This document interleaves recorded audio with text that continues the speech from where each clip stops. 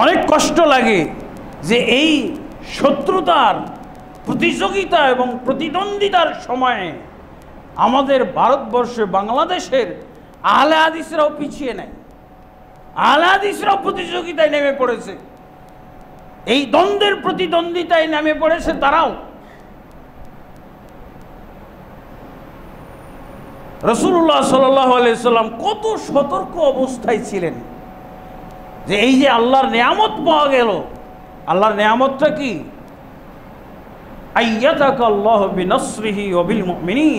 হে মোহাম্মদ, তোমাকে আল্লাহ সাহায্য করেছেন। যখন আল্লাহর সাহায্য বলা হবে, তখন তার অর্থ হলো গাইবী সাহায্য। ঝড় তুফানের মাধ্যমে সাহায্য। ঝড় তুফান কাফেরের বিরুদ্ধে আল্লাহ পাঠাই দিছে ফেরিস্তার মাধ্যমে সাহায্য। আর একটা কি? এটা হলো বাহ্যিক সাহায্য, প্রকাশ্য সাহায্য। সেটা আল্লাহ কি বলছেন? বিল মিনিন মমিনদের দ্বারা তোমাকে সাহায্য করেছে। কাদেরকে নিয়ে গেলেন আল্লাহ রসুল সাল্লাম বদরের যুদ্ধে? কাদেরকে নিয়ে গেলেন রসুল্লাহ সাল্লাহ সাল্লাম মক্কা বিজয়ের যুদ্ধে? কাদেরকে নিয়ে গেলেন রসুল্লাহ সাল্লাম খন্দকের যুদ্ধে? কারা আল্লাহ রসুল সাল্লামকে বললেন, ইয়া রসুল আল্লাহ বানু ইসরায়েলরা যেভাবে মুসাকে বলেছিল, এরকম কথা আমরা বলব না। বানু ইসরায়েলরা কি বলেছিল? মুসা, তুমি এবং তোমার রব যাও, যুদ্ধ করো। আমরা যাব না, আমরা এখানেই থাকব। কিন্তু যেই মমিন বাহিনীকে আল্লাহ মোহাম্মদ সাল্লাহ আলাইসাল্লামের সাহায্যের জন্য সেট করেছিলেন, তারা কি বলেছিলেন?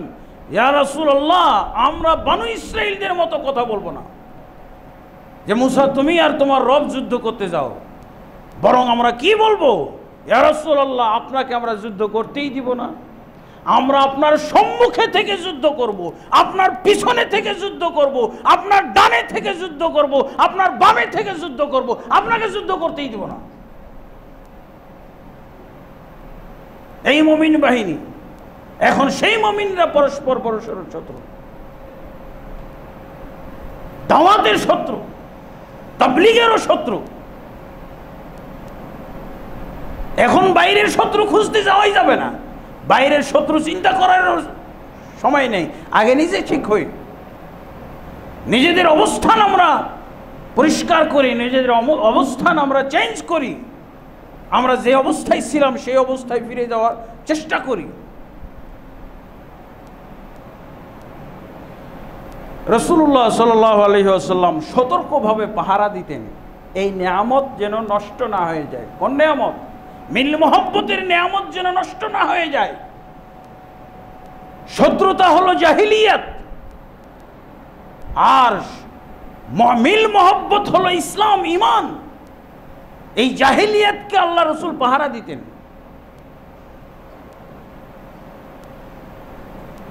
এক যুদ্ধের ঘটনা গজওয়াতুল মুরাইসি অথবা গজওয়াতুল বনি মুস্তলেক।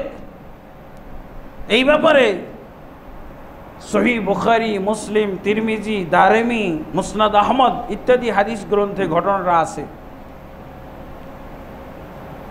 তফসিরের কিতাবে পাওয়া যাবে। সুরা মুনাফিকুনের তফসিরে। সহি বুখারিতে দেখলাম আটটা হাদিস, চার- চারটা চারটা হাদিস এবং সহি মুসলিমে চারটা হাদিস। এই ঘটনা উল্লেখ করেছে। কি? আল্লাহ রসুল সাল্লাম গজওয়াতুল মুরাইসি অথবা গজওয়াত বানি মুস্তালেকের মধ্যে ছিলেন। যুদ্ধ শেষ হওয়ার পর যুদ্ধে বিজয় এসেছে। মুসলমানরা বিজয় হয়েছে। খেলাধুলা চলতেছে, বিভিন্ন জায়গায় আনন্দ উৎসব করতেছে। এমন সময় মহাজের এবং আনসার দুইজন ছেলে খেলাধুলা করতে করতে আনসারের এক ছেলেকে, মহাজেরের এক ছেলে আঘাত করেছে। কি? তার পিছনে একটা থাপ- হাত দিয়ে অথবা পা দিয়ে মেরেছিল। একটা থাপ্পড় অথবা একটা লাথি মেরেছিল। সেই মহাজের ব্যক্তি, মেহা- মহাজেরের সন্তান, সে ছিল খুব একটু পারদর্শী, খেলায় পারদর্শী। সে খেলা শিখাইতো তাও। যাই হোক হয়তো বা শিখাইতে শিখাইতে মারছে। তো সে আঘাত পাইছে, কষ্ট লাগছে তার। ও তো জানছে যে এই মহাজেরের এই ছেলেকে পারবে না, এই যুবককে সে পারবে না। তখন সে ডাক দিছে, কে? ওয়াল আনসার। হে আনসার ভাইরা আপনারা আসেন। আমাকে এই যে মহাজেরের বাচ্চা, আমাকে আঘাত করেছে, আমাকে মায়ের, আমাকে মার দিচ্ছে। তোমরা আসো, আমাকে সাহায্য করো। আসো, আমাকে সাহায্য করো। তখন মহাজের বেচারা বল চিন্তা করতেছে যে, ও যেভাবে আনসার দলকে ডাকতেছে হ্যাঁ ওরা যদি কয়েকজন এসে যায়, তাহলে তো আমার অবস্থা খারাপ। তখন সেও ডাকাডাকি শুরু করছে। বলছে, ও আলাল মুহাজিরিন, হে মহাজের ভাইরা তোমরা কে কোথায় আসো আসো, আমাকে সাহায্য করো। আল্লাহ রসুল সাল্লাহ সাল্লাম তাবুতে থেকে, অথবা কোনো বর্ণনায় পাওয়া যাচ্ছে যে সাম্মাহ আল্লাহ আল্লাহ তাকে, আল্লাহ রসুলকে শুনিয়ে দিলেন। এই চিৎকারগুলো আল্লাহ রসুলের কানে আল্লাহ পৌঁছাই দিলেন।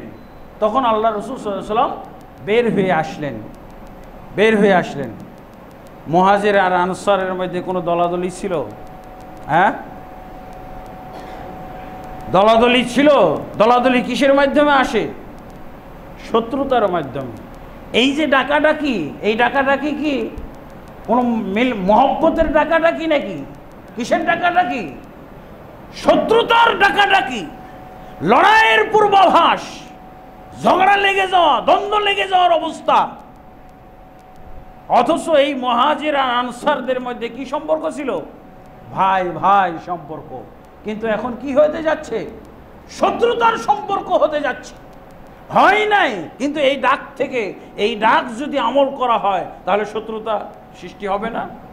আল্লাহ রসুল সাল্লাম বের হয়ে এসে কি বললেন?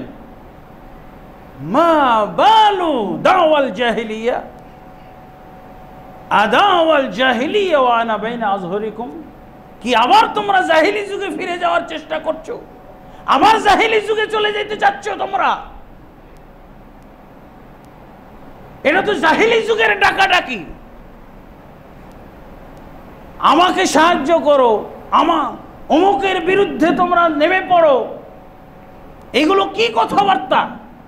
এগুলো তো সেই জাহিলি যুগে ছিল। তোমরা আবার মুসলমান হয়ে মুসলমানদের যুগে এই জাহিলি ডাকাডাকি শুরু করে দিয়েছ। তারপর আল্লাহ রসুল মীমাংসা করে দিলেন। এটা খেলাধুলার বিষয়। খেলাধুলা করতে যে একজন আর একজনকে আঘাত করতে পারে, আঘাত লেগে যেতে পারে, কিন্তু তার জন্য এরকম জাহিলি ডাক কেন আসতে পারে? জাহিলি ডাক কেন? তারপরে আল্লাহ রসুল সাল্লাম বললেন, দাউহা, এই ডাকাডাকি বন্ধ করো।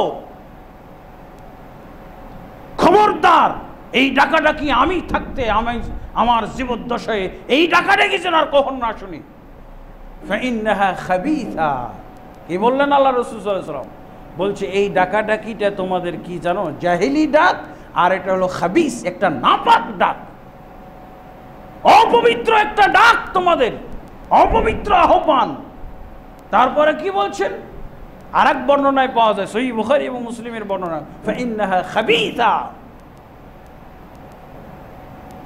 কাদের ডাককে আল্লাহ রসুল খাবিসা বললেন? মুহাজির আনসারের ডাক। মুহাজির আনসার যদি এরকম ডাকাডাকি করে, কোনো শত্রুতার যদি পূর্বাভাস তাদের কাছে পাওয়া যায়, এই মহাজেরার আনসারের মাধ্যমে জাহিলিয়াত, আল্লাহ রসুল জাহিলিয়াতের আশঙ্কা করলেন কাদের ক্ষেত্রে? ওই কি আহলে হাদিসের ক্ষেত্রে করেছিলেন এই তথাকথিত, এই প্রচলিত আহলে হাদিসদের ক্ষেত্রে এখন এই আহলে হাদিসরা পর্যন্ত মসজিদের মাধ্যমে এই ডাকাডাকি করে। মসজিদে এই ডাকাডাকি। এই মসজিদ আমাদের না, ওই মসজিদ আমাদের। এই মসজিদে ওদেরকে আসতে দেব না, এই মসজিদে ওদের আসা যাবে না, এই মসজিদে ও মেমতি করতে পারবে না, ওই মসজিদে ও মেমতি করতে পারবে না। এগুলো কারা? সাহাবি মহাজির এবং আনসার, যাদের ব্যাপারে হাদিসে এসেছে রসুল্লাহ সাল্লাম বলছেন, হব্বুল আনসার মিনাল ইমান আনসার সাহাবিদেরকে মহব্বত করা হলো ইমান মহাজেরদেরকে ভালোবাসা হলো ইমান সেই আনসার আর মহাজের সাহাবিদের যখন এই শত্রুতার, শত্রুতা প্রকাশকারী দ্বন্দ্ব দ্বন্দ্ব কলহ প্রমাণকারী যখন ডাক আল্লাহ রসুল শুনলেন, তাদেরকেও ছাড় দেননি। কি বলেছিলেন? জাহিলিয়াত চর্চা শুরু করেছ। আমার জীবদ্দশায় তোমরা জাহিলিয়াত চর্চা শুরু করেছ। তাহলে এরকম ডাকাডাকি যদি আহলাদিসের মধ্যে থাকে, তাহলে এটা জাহিলিয়াত না। কারণ এরা আর ধাপ উঁচু মানের নাকি? মহাজের এবং আনসারদের চাইতো ভালো এরা। এই জন্য এরা যদি এরকম ডাকাডাকি করে চলবে কিন্তু মহাজের আনসাররা, ওরা একটু নিম্নমানের ছিল, ওদের ইমান কম ছিল, এই জন্য তাদেরকে জাহিলিয়াত বলেছেন নাকি? সাহাবির মতো লোক যদি এরকম ডাকাডাকি করে তাহলেও এটার নাম হলো জাহিলিয়াত, জাহিলি ডাক। অন্য বর্ণনায় আছে, সহি বুখারি, মুসলিমেরই বর্ণনায় পাওয়া যায়, দাউহা, এই জায়গায় এটাকে স্তব্ধ করে দাও। বন্ধ করে দাও। এই ডাক যেন আর আমি না শুনি। ফেইন্নাহা মুন্তিনা। কারণ এটা হলো অত্যন্ত দর- দুর্গন্ধযুক্ত একটা ডাক। কয়টা কথা বললেন আল্লাহ রাসূল? বাস্তব তো হয়ই নাই। বাস্তবে হয়েছে বাস্তবে কি এটা প্রতিফলিত হয়েছে শুধু ডাকটার কারণে। কয়টা শব্দ আল্লাহ রসুল বলেন? দাওয়াল জাহিলিয়া। খাবিসা। তারপরে মুনতে না আল্লাহ রসুল বললেন, এটা হলো প্রতিগন্ধময় একটা ডাক, দুর্গন্ধময় ডাক। এই ডাক সাহাবিদের মুখ দিয়ে শোভাবে না, এই ডাক মমিন মুসলিমদের মুখ দিয়ে আসতে পারে না। তারপর আল্লাহ রসুল সাল্লাম বললেন, মমিনদের মমিনদের এই ক্ষেত্রে কি হইতে পারে? মমিনদের মাঝে জুলুম হতে পারে, একজন জালেম হতে পারে, একজন মজলুম হতে পারে। একজন জালেম হতে পারে আর একজন মজলুম হতে পারে। এল, এরপর আল্লাহ রসুল সাল্লাম তাদেরকে দিক নির্দেশনা দিলেন। এই ডাকাটা কি কেন? উনসুর আহা কা ও মজলুমান।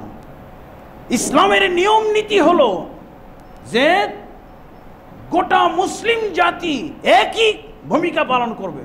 ভূমিকাটা কয় রকম? জালেম, মাজলুম দুই শ্রেণি পাওয়া যাইতে পারে, কিন্তু গোটা মুসলিম সমাজের ভূমিকা একটা হবে। কি কি ভূমিকা? মজলুমান। তুমি তোমার ভাইকে সাহায্য করো। সে জালেম হলেও তাকে সাহায্য করবে, সে মাজলুম হলেও তাকে সাহায্য করবে। কারা করবে? সবাই মিলে করবে, জমিয়ান একজনও বাদ থাকবে না। সবাই কি করবে? জালেমকে সাহায্য করবে আর মজলুমকেও সাহায্য করবে। কিসের আবার দল? জুলুম আর মজলুম নিয়ে, জালেম আর মজলুম নিয়ে কিসের দল পাকানো? কিসের সংগঠন করা?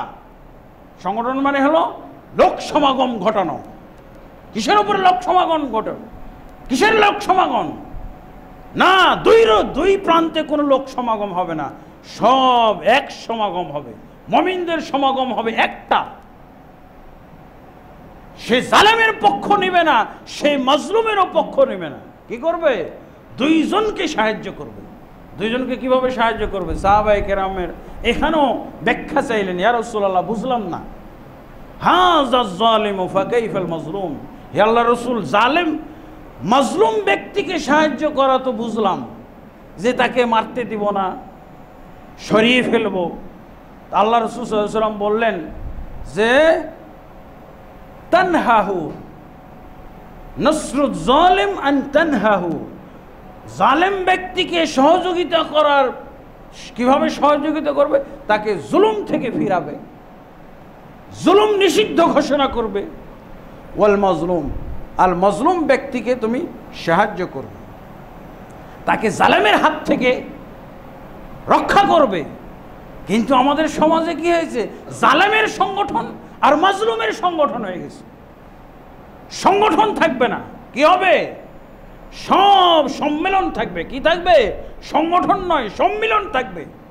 সবাই জালেমের জালেমের পক্ষে হলো না জালেমের পক্ষে হলো, মজলুমের পক্ষে হবে। কারণ মুসলিম ব্যক্তির জালেম হলো তার পক্ষে থাকবে, আর মজলুম হলো তার পক্ষে থাকবে।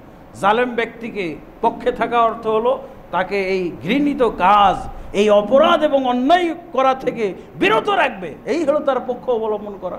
আর মজলুম মজলুম ব্যক্তিকে জুলুম থেকে রক্ষা করবে। এটাই হলো পক্ষ। কোনো দল নাই কি সম্মেলন হবে, মহব্বত হবে, একসাথে থাকবে। দেখছেন রসুল্লাহ সাল্লাম কীভাবে সমাধান করে দিলেন? না, জালেম এবং মজলুমকে নিয়ে কখনো দল হবে না। সবাই এক দল হয়ে যাবে। জালেম, মজলুম নিয়ে এক দল হওয়ার আল্লাহ রসুল বুদ্ধি শিখাই দিলেন। জালেম, মজলুম নিয়ে দুই দল করার কোনো সুযোগ নাই। এক দল থাকবে মুসলমান।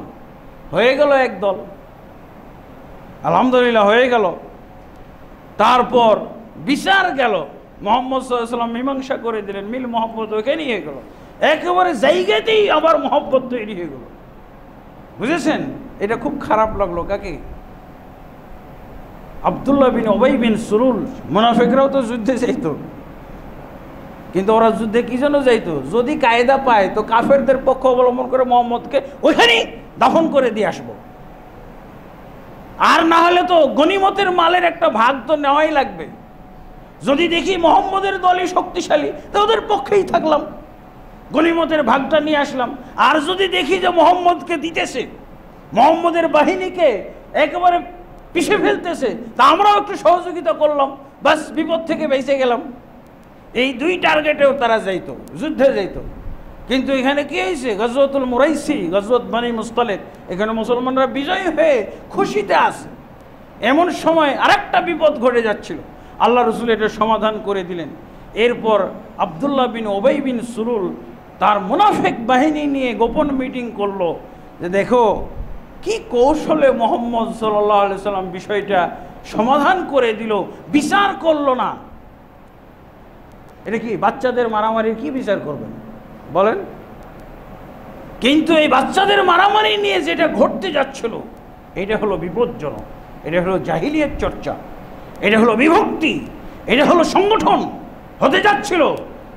কখনো মহাজির এবং আনসার দুটা সংগঠন না, এরা, তারা এই আনসার, এই গুণ উপার্জন করেছে।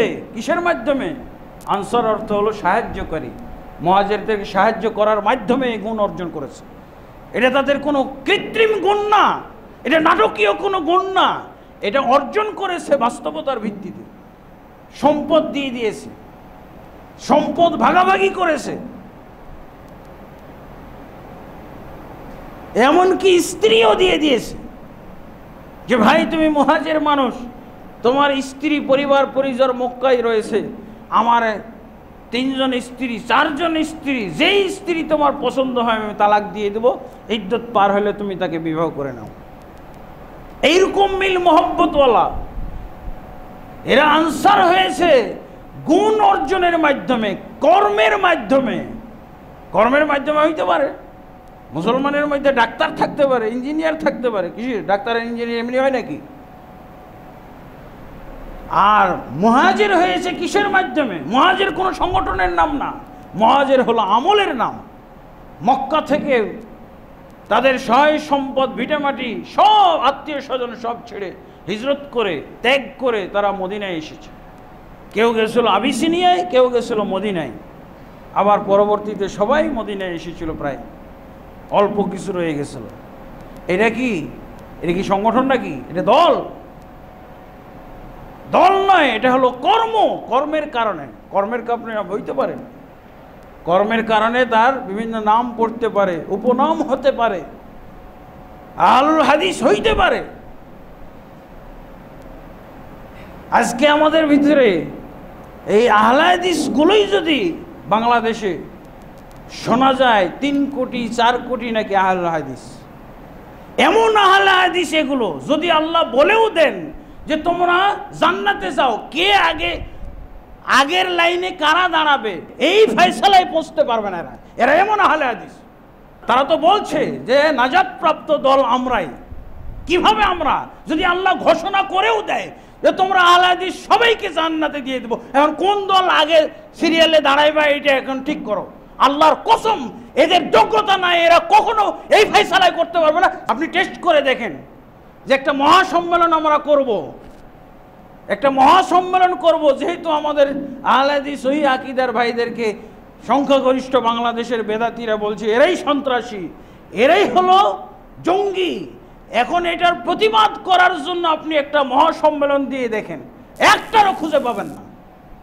সব ব্যানার নিয়ে দৌড়াদৌড়ি করবে, তাহলে ব্যানারটা কি আমাদের থাকবে কি না? আপনারা আহলাদিস মহাসম্মেলন করবেন। ব্যানারটা কি? জমিয়তে আহলাদিসের ব্যানার কি দেওয়া যাবে? না, এটা মহাসম্মেলন। সবাই, সব সংগঠনের লোক একত্র হবে। না না না না, এই মহাসম্মেলন আমার দরকার নাই। আরেক দল বলবে যে, ব্যানারটা কি? আহলাদিস আহলাদিস আন্দোলন দেওয়া যাবে কি না বলছে, না, এটা দেওয়া যাবে না, এটা যেহেতু গোটা বাংলাদেশের আহলাদিসদের মহাসম্মেলন, এই ব্যানার টানার হবে না। বলছে, আমরাও নাই। আছে? এই দুনিয়াতে একটা টেস্ট চালাইতে পারেন, আর আখরাতের টেস্ট হলো যে তোমরা সবাইকে জান্নাতে দিয়ে দিলাম, তোমরা নাজাত প্রাপ্ত দল, কিন্তু কারা আগে জান্নাতে ঢুকবে, এটা ফেসলা করো। বিশ পঁচিশটা দল মিলে তোমরা আপোষে ফয়সলা করো, কারা আগে ঢুকবে, কারা পরে? সব একসাথে নাকি? এটাই ফয়সলা করতে পারবেন। এই ফয়সলা হবে না। আল্লাফা বাইনা কুলুবিহিম। বিসর্জন দেওয়া হয়েছে, ধ্বংস করে দেওয়া হয়েছে আল্লাহর এই মূলনীতি। যেই মূলনীতির মাধ্যমে মমিনদের দ্বারা রসুল্লাহ সাল্লামকে শক্তিশালী করা হয়েছিল, সেই মূলনীতি এক নম্বরে ধ্বংস করেছে। আল হাদিসরাও তো ধ্বংস করে ফেলেছে। মুসলমানদের ভেতরে তো নাই। মাঝহাবিরা তো বললাম, এই এই অবস্থা, বেদাতিরা তো বললাম, এই অবস্থা। অমুকরা তো এই অবস্থা, তরিকাওয়ালাদের তো এই অবস্থা, আর কি? দরগার আলোয়ালা, খানকাওয়ালাদের তো এই অবস্থা, পীর পীর মুরিদিওয়ালাদের তো এই অবস্থা, আর আহলাদিসের অবস্থা কি? মারামারি টানাটানি লেগে যাবে এদের মধ্যে। যে না আমরা আগে যাব। কারণ কি? আমরা আগে পুরান দল। আমরা আগের দল, আমরা আগে জান্নাতে যাই। আর দল বলবে যে না, আমরা সংখ্যাগরিষ্ঠ দল, আমরা আগে জান্নাতে যাই। ফয়সলা করতে পারবে? তাহলে দুনিয়ায় টেস্ট টেস্টে পাশ করুক। দুনিয়ার টেস্টে পাশ করুক। বন্ধুগণ, অত্যন্ত গুরুত্বপূর্ণ ব্যাপার। এই আয়াতের মধ্যে এখন আলে দিছো নাই। সুরা আল ইমরানের একশো তিন নম্বর আয়াত অনুযায়ী আলে দিছো খুঁজে পাওয়া যাবে না। এই হলো অবস্থা। এক আহলাদিসের আর এক আহলাদিসের সাথে শত্রুতার সম্পর্ক। আজিমপুর আজিমপুর মাহফিল হবে। আকরামুজ্জামান প্রধান বক্তা কেন? ওকে সাহায্য করা। এই মাহফিল আর সাহায্য করাই হলো না। কেন? আমরা শুনি না, আহলাদিসের অনেক বড় বড় লোক আছে, অনেক উচ্চ পদস্থ লোকজন আছে। আর বেদাতিরা মাহফিল বন্ধ করে দিল। একজনও সাহায্যকারী আসলো না। বাসাবো, গোড়ান গোড়ান বাসাবো। ওইখানে একটা মাহফিল। শহরের মধ্যে মাহফিল করতে পারা কি চারটিখানি ব্যাপার নাকি? কত কঠিন ব্যাপার। বেচারারা আয়োজন করল, কেউ সাহায্য করল না, বেদাতিরা যে বন্ধ করে দিল। একজন আরেকজনের বিরু- স- সহযোগিতা করা, সাহায্য করা, এইটা হলো এইটা হলো মমিন বাহিনীর বৈশিষ্ট্য, মমিনদের বৈশিষ্ট্য। আল্লাহ তবরকতাল আমাদেরকে ইমানের আসল হাকিকত, ইমানের আসল বৈশিষ্ট্য বোঝার তৌফিক দান করুন। এবং আমাদেরকে আল্লাহ তবরকতলা সবার পূর্বে আমাদেরকে আল্লাহ তবরকতলা সুরা আলে ইমরানের একশো তিন নম্বর আয়াত বুজার আমল করার, বাস্তবায়ন করার আল্লাহ তবরকতলা তৌফিক দান করুন। আল্লাহ আমিন। আস্তগফিরুল্লাহ আলী ওয়ালাকুম আলী সাইরিল মুসলিমিন ফাস্তাগফিরু ইন্নাহু আল গফুর রহিম।